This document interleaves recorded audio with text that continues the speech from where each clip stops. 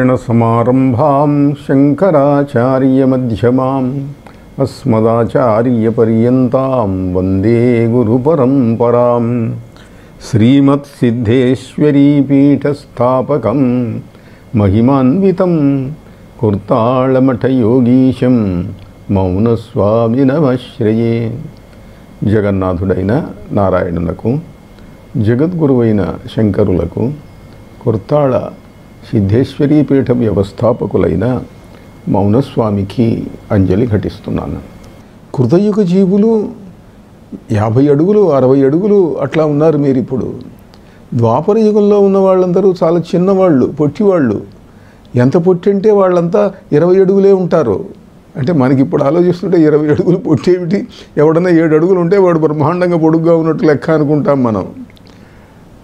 ఆరు అడుగులు దాటితే చాలా పొడుగు వాడి కింద లెక్క. కానీ ఆ రోజుల్లో అట్లా కాదు. మహాయోగిని ఆనందమాయి చెప్తుంది యోగీశ్వరుడైన దేవరహా బాబా యొక్క అనుగ్రహం వల్ల నేను ద్వాపర యుగాంత జీవులను చూశాను. ఇరవై అడుగులు ఇరవై ఐదు అడుగులు ఉన్నారు వాళ్ళు అంటుంది. అట్లా స్వామి తపస్విజీ అని ఒక ఆయన అంటాడు. నూట ఎనభై ఏళ్ళు జీవించాడు ఆయన. ఆయన మదన్మోహన మాలవ్యాకు కాయకల్ప చికిత్స చేశాడు. ఆ రోజుల్లో పేపర్లలో చాలా ప్రసిద్ధంగా వచ్చింది. ఆయన అంటాడు నేను ఒక ఆయన్ని చూశాను. ఆయన ఎనిమిది అడుగులు ఉన్నాడు. ఎప్పటివాడు అని అంటే ద్వాపర యుగం నాటివాడిని అన్నాడు. ఏమిటయ్యా ఎనిమిది అడుగులు ఉన్నామంటే ఎనిమిది అడుగులు ఏమిది? నేను చాలా పొట్టివాడిని అన్నాడు. అట్లా చాలా పొడుగాటి వాళ్ళు ఉంటారు. భాగవతంలో మనకు ఒక కథ కనిపిస్తుంది. కాలయవనుడనేటువంటి యవన దేశపు రాజు రాక్షసాంశ సంభూతుడు రాక్షసుడు పుట్టాడు కాలయవనుడిగా పుట్టాడు యవన దేశములు. యవన దేశం నుంచి వచ్చి వాడు మహాసైన్యంతో వచ్చి యాదవులను చంపాలి కృష్ణుడిని చంపాలి అని వచ్చాడు. వాడి కారణాలు వాడికి ఉన్నాయి అది పురాణాలలో చెప్పారు. వాడు వస్తే కోటి సైన్యంతో వచ్చాట వాడు. ద్వారకను చుట్టుముట్టాడు. మహాసైన్యములన్నీ చుట్టుముట్టినాయి. లోపల నుంచి ఎవడు బయటికి రావడానికి లేదు బయట వాడు లోపలికి పోవడానికి వీల్లేదు. ద్వారకలో అంత సైన్యం లేదు. కానీ కృష్ణుడు ఉన్నాడు. కృష్ణుడు ఒకరోజు ఏం చేశాడనంటే కోట తలుపులు తీయించాడు. ఒక్కడు బయటకు వస్తున్నాడు. నల్లగా ఉన్నాడు కోమలంగా ఉన్నాడు ఏదో పట్టు పీతాంబరం ఒకటి కట్టుకున్నాడు ఉత్తరీయం వేసుకున్నాడు. ఒక్కడే వస్తున్నాడు చేతులు చాపుకుంటూ ఆయుధాలు కూడా లేవు. ఆయనే కృష్ణుడు ఆయనే కృష్ణుడు అన్నారు. ఇదేమిటి వీడా కృష్ణుడు? మహాసైన్యంతో వచ్చి నాతో యుద్ధం చేస్తాడనుకుంటే చేతులు దాడించుకుంటూ వస్తున్నాడు. వీడిని పట్టుకొని నేను శిక్షిస్తాను అన్నాడు. అతడు చూస్తుండగా ఆ యవనుడు కాలయవనుడు చూస్తూ ఉండగా కృష్ణుడు పరిగెత్తడం మొదలుపెట్టాడు అడవిలోకి. ఆ సైన్యంలో ఎక్కడో ఒకవైపు ఖాళీ ఉంటే సై- వెళ్తున్నాడు. వీడేంటి తప్పించుకొని పోతున్నాడు? నన్ను చూసి భయపడుతున్నాడు అనుకున్నాడు కాలయవనుడు అని వెంటబడ్డాడు. సైనికులు వాళ్ళు రావటం మొదలుపెట్టారు. వీడిని పట్టుకోవటానికి పట్టుకోవడానికి మీరంతా దేనికి? నేను వెళ్తున్నానులే అన్నాడు. బాగా వేగంగా పరిగెత్తాడు. కృష్ణుడు చిక్కినట్టుంటాడు చిక్కడు. అలా పరిగెత్తుతున్నాడు. కొంత దూరం పోయిన తర్వాత బాగా అడవిలోకి వెళ్ళారు. అక్కడ ఒక కొండ ఉన్నది. ఆ కొండ దగ్గరికి వెళ్ళారు. కొండ ఎక్కుతున్నాడు. ఇతడు కనిపి వెళ్తున్నాడు. కృష్ణుడు కనిపిస్తూనే ఉన్నాడు. వెళ్ళి ఒక గుహలోకి దూరాడు కృష్ణుడు. ఇంకేముంది? ఇంక చిక్కాడు ఎక్కడికి పోతాడు ఇంకా? గుహలో దూరాడంటే ఎక్కడికి పోతాడు? అనుకున్నాడు. లోపలికి వెళ్ళాడు. లోపలంతా కటికి చీకటిగా ఉంది. కటికి చీకటిగా ఉంటే చీకట్లో లోపల ఒక పెద్ద బండ మీద ఎవరో పడుకొని ఉన్నట్టుగా ఉంది. పడుకొని ఉన్నట్టుగా ఉండేసరికి వీడు దొంగ నిద్రపోతున్నాడు నటిస్తున్నాడు ఇక్కడ అని వెళ్ళి ఒక్క దెబ్బేశాడు పోతున్నవాడిని నిద్రపోతున్నవాడిని. ఆ నిద్రపోతున్నవాడు లేచాడు. లేచి కళ్ళు ఎర్ర చేసి చూశాడు. ఎవడరా నువ్వు? నా నిద్ర చెడగొట్టావు? అని చెప్పి అతడి నేత్రములలో నుండి వచ్చినటువంటి అగ్నికి ఈ కాలయవనుడు దహనం అయిపోయినాడు ఏమిటి వీడెవడు? నా చూపుకు దహనం అయిపోయినాడు అనుకున్నాడు. అనుకొని చూస్తే ఆ చీకట్లో ఒక వెలుగు తేజపుంజం కనిపించింది. చతుర్భుజుడు శ్రీమన్నారాయణుడు సాక్షాత్కరించాడు. కృష్ణుడు అతడికి దర్శనమిచ్చాడు నారాయణునిగా దర్శనమిచ్చాడు. స్వామి మీ భక్తుణ్ణి ఈ నాళ్ళకు నాకు దర్శనం ఇచ్చారు వీడెవడు? వీడి కథ ఏమిటి? నేను చూస్తే వీడు కాస్త దహనమైనాడేమిటి? అంటే వాడు నీ చేతుల్లో మరణించవలసి ఉన్నది. అందుకని వాడిని ఇక్కడ వచ్చేట్టు చేశాను నేను. అంటేను సరే స్వామి నేను నిద్రపోతున్నాను. ఎంతకాలం అయిందో తెలియదు. నేను మా రాజ్యానికి వెళ్తాను. నేను ముచ్చుకుందుడనేటువంటి రాజు నేను. మా రాజ్యానికి వెళ్తాను. నా భార్య పిల్లలు మంత్రులు సామంతులు వాళ్ళందరూ ఎట్లా ఉన్నారో చూసుకోవాలే అంటే అప్పుడు కృష్ణుడు అన్నాడు నాయనా నీవు నిద్రపోవటం మొదలుపెట్టి కొన్ని వేల సంవత్సరాలు గడిచింది. ఇవాళ మీ రాజ్యం లేదు నీ భార్య లేదు పిల్లలు లేరు కుటుంబం లేదు. ఈ అనంతమైనటువంటి కాలగర్భంలో కలిసిపోయి ఎన్నో తరాలు మారినాయి వేల ఏండ్లు గడిచినాయి దేవదానవులతో యుద్ధం చేసేటప్పుడు దేవతలకు నువ్వు సహాయం చేస్తే నీకు ఏం కావాలి కోరుకో అని అడిగారు వాళ్ళు. నేను యుద్ధంలో చాలా అలసిపోయినాను నిద్రపోవాలనుంది ప్రశాంతంగా అని అడిగావు వాళ్ళు వాళ్ళు నీకు ఇక్కడ నిద్ర ఏర్పరిచారు. నిన్ను ఎవరు కదిలించకుండా వాళ్ళు చూశారు. ఇప్పుడు అవసరం వచ్చింది కాబట్టి నేను ఈ ప్రణాళిక వేశాను.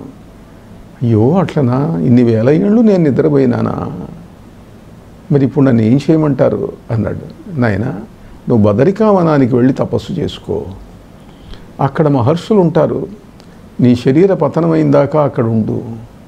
తర్వాత నా లోకానికి వద్దు కానీ అన్నాడు విష్ణుమూర్తి కృష్ణుడు.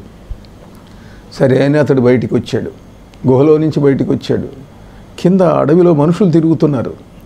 ఆ మనుషులను చూశాడు. పరమేశ్వర ఇదేమిటి ఇంత చిన్న చిన్న వాళ్ళుగా ఉన్నారు వీళ్ళంతా? వీళ్ళంతా చీమలు దోమలు ఎలుకలు పిల్లుల్లాగా ఉన్నారు వీళ్ళు? అంటే యుగం మారిందయ్యా. వీళ్ళంతా చాలా పొట్టివాళ్ళు. నువ్వేమో నలభై అడుగుల ప్రాంతం వాడివి. వీళ్ళంతా పదిహేను ఇరవై అడుగులు ఉన్నారు వీళ్ళందరూ కూడా. యుగాలు మారితే అట్లనే ఉంటుంది. నువ్వు వెళ్ళు. అంటే అతడు వెళ్ళిపోయినాడు. అంటే ఈ కథ ఎందుకు చెబుతున్నానంటే ఆ కాలంలో ద్వాపర యుగం నాడు ఇట్లా ఉండేటువంటి వాళ్ళు అని చెప్పటం కోసం అన్నమాట. అలానే మనకు భాగవతంలో ఇంకో కథ కనిపిస్తుంది. కృష్ణుడు రామ్ బలరాముడు కృష్ణుడు పిల్లలు ఆడుకుంటున్నారు పసిపిల్లలు. ఆడుకుంటుంటే కృష్ణుడు మట్టి తింటున్నాడు. మట్టి తింటుంటే గోపకులు వెళ్ళి యశోదకు చెప్పారు అమ్మా అమ్మ కృష్ణుడు మట్టి తింటున్నాడు మేము చెప్పటం లేదు మేము చెబితే వినటం లేదు. అంటే ఆమెకు రామ్ మా వాడు మట్టి తింటున్నాడా? అని గబగబా వచ్చింది ఆవిడ. గబగబా వచ్చి కృష్ణుడు ఏమిరా మట్టి తింటున్నావు? మనకి ఏం లోపం వచ్చింది? నీకు లోపం వచ్చింది? మన ఇంట్లో మేగడు ఉన్నది వెన్న ఉన్నది పాలు ఉన్నాయి పెరుగు ఉన్నాయి అన్నీ ఉన్నాయి అన్నీ నీకు కావాల్సినంత పెడుతున్నాను. మట్టి ఎందుకు తింటున్నావు? అన్నాడు. అన్నది యశోద. అంటే నేను ఎందుకు తింటానమ్మా?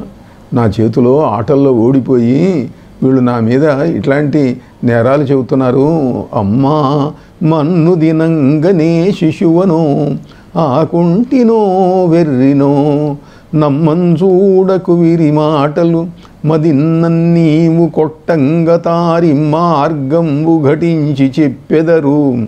కాదేనిన్ మదీయాశ్చరంధ్రం మాఘ్రాణము చేసి నా వచనముల్ తప్పైన దండింపవే. అమ్మా నేనేమిటి పిచ్చివాడినా నేను పిల్లవాడినా పెరిగి పెరిగినవాడిని నేను? నేనేమి ఆకలితో ఉన్నానా? వెరివాడినా వీళ్ళు నా మీద ఏవో చెబుతున్నారమ్మా. కావాలంటే నా నోరు వాసన చూడు మట్టి వాసన వస్తున్నదేమో అని నోరు తెరిచాడు. నోరు తెరిస్తే బ్రహ్మాండాలు కనిపిస్తున్నాయి దాంట్లో. దేవతలు దానవులు రాక్షసులు కిన్నరులు కింపురుషులు సిద్ధులు సాధ్యులు భూలోకాలు సువర్లోకాలు సూర్యుల మండలాలు చంద్రమండలాలు అన్నీ కనిపిస్తున్నాయి.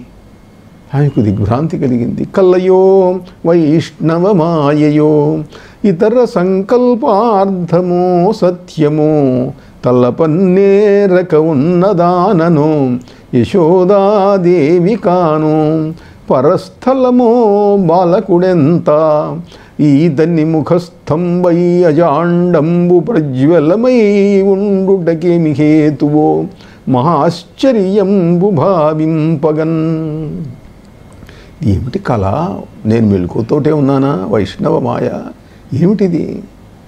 ఆ, ఈ మా పిల్లవాడి ముఖంలో కృష్ణుడి ముఖంలో సమస్త బ్రహ్మాండములు కనిపిస్తున్నాయి అని ఆమె ఆశ్చర్యపడింది. ఆమె ఆశ్చర్యపడితే యశోద గనక ఆ భావనే నిలిస్తే రేపొద్దు నుంచి కృష్ణుడికి మేగడ పెట్టడం వెంద పెట్టడం ఉండదు. సింహాసనం మీద కూర్చోబెట్టి కృష్ణాయ నమ పరమేశ్వరాయ నమ అని పూజిస్తూ ఉంటుంది. కృష్ణుడు వచ్చింది ఆమె చేత ఆమె దగ్గర శిశువుగా పెరిగి వాత్సల్యాన్ని అనుభవించటానికి ఆమె తల్లి ప్రేమను అనుభవించటానికి వచ్చాడు కానీ అక్కడికి పూజింపజేసుకోవడానికి కాదు వచ్చింది. అందుకని ఆమె ఎందుకు మాయను ప్రయోగించాడు. ఆమె అన్నీ మర్చిపోయింది. నాయన అయ్యో నువ్వు ఎందుకు మను తిన్నావురా? వీళ్ళేదో చెబుతున్నారు అని ఎత్తుకుంది ఆడించింది వెళ్ళిపోయింది. ఈ కథలో విశేషం ఏమిటి అని అంటే ఇంతవరకు భాగవతం చెబుతుంది. కానీ కృష్ణుడు ఎక్కడైతే తన నోటిలో బ్రహ్మాండములను చూపించాడో దానికి బ్రహ్మాండ ఘాట్ అని పేరు ఇవాళ యమున ఒడ్డున. కృష్ణుడు ఆడుకున్న పిల్లలతో ఆడుకున్న చోట్లున్నాయి. దానికి రమణరేతి అని పేరు. అలానే కృష్ణుడు సద్యన్నం తిన్న చోట్లున్నాయి. ఇట్లా కృష్ణుడి యొక్క లీలలు జరిగిన చోట్లు బృందావన ధామంలో ఎనభై కిలోమీటర్లు ఎనభై మైళ్ళ మేర ఎనభై నాలుగు మైళ్ళ మేర వ్యా వ్యాపించి ఉన్నాయి యశోద ఉన్న ఇల్లు ఉన్నది పురాణ గోకుల్ అని అంటారు దాన్ని. ఆమె ఉన్న చోటుకు ఈ బ్రహ్మాండ ఘాటుకు ఒక ముప్పై నలభై కిలోమీటర్లు ఉన్నది. అంటే రోజు కృష్ణుడు పొద్దున్నే లేచి ఇంట్లో అమ్మ దగ్గర మేగడో పాలో వెన్నో తీసుకొని సద్దెన్నం మూట కట్టుకొని దూరంగా ఉన్న యమున ఒడ్డుకు వెళ్ళి అక్కడ కొంత దూరం కొన్ని మైళ్ళు నడిచిన తర్వాత గోపకులతో కలిసి అక్కడ సద్దెన్నాలు తిని ఇంకో నలభై కిలోమీటర్లు వెళ్ళి అక్కడ ఆడుకొని ఇంకో నలభై కిలోమీటర్లు ముప్పై కిలోమీటర్లు వెళ్ళి గోవర్ధన పర్వతం మీద ఆవులను మేపుకొని ఇంకో యాభై కిలోమీటర్లు రా సాయంకాలం నడిచి ఇంటికి చేరుకుండేవాళ్ళు. ఈ రోజువారీ పని వాళ్ళకు. యశోద తన ఇంటి దగ్గర నుంచి ఇక్కడికి రావటానికి నాలుగు మేము వీళ్ళు పిల్లలు విలవంగానే గబగబా వస్తున్నాను రా అన్నది వచ్చింది నాలుగు నిమిషాల్లో. అంటే నాలుగు నిమిషాలలో నలభై కిలోమీటర్లు వచ్చింది ఆవిడ.